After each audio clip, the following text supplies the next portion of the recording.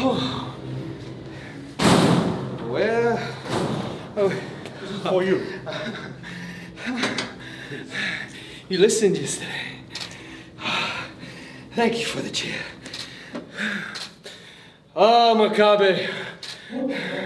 You're getting too old, maybe a little bit senile.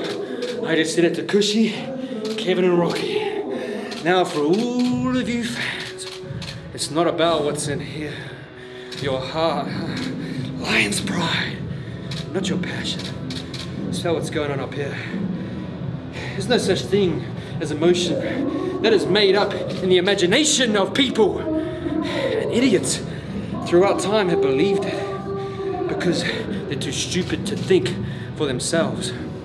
No, no, no, this in here, it's just a muscle that pumps and pumps and pumps the blood around your body, allowing you to move.